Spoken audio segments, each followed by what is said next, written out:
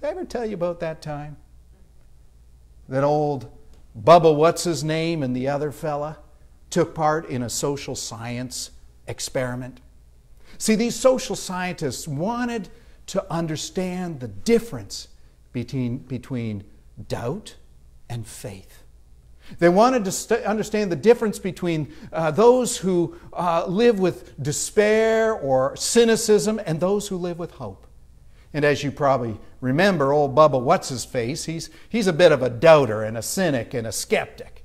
And so they took Bubba What's His Name and they put him in this room with all the latest and greatest technology you could ever imagine all the hottest new uh, 21st century flat screen, big screen, projection screen, sound, surround sound systems. They gave him the latest gaming systems, even the stuff that hasn't been released yet. They gave it all to him.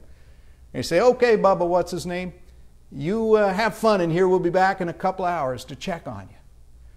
Then they took the other fella down the hall into a different room.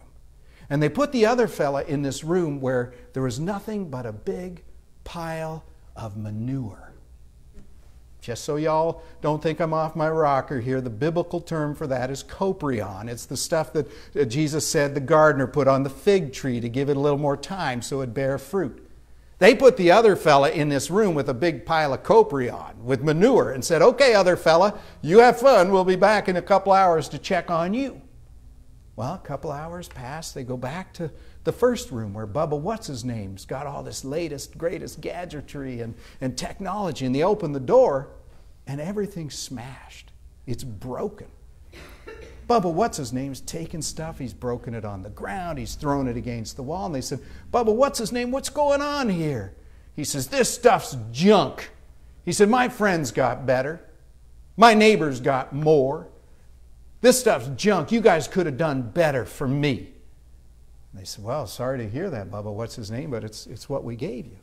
Then they went back to that second room where the other fellow was with the big pile of manure. They opened the door, and there's the other fellow sitting in that big pile of manure, and he's throwing manure everywhere. He's throwing it on the walls, he's throwing it on the ceilings, he's covered in it, and he's laughing. He's having a great old time. And they said, Other fellow, what are you doing with all this manure? And he turns and he smiles at them. He says, I just know there's got to be a pony in here somewhere. believe that when we view the world through the lens of our hearts, enlightened, we still can see it with hope.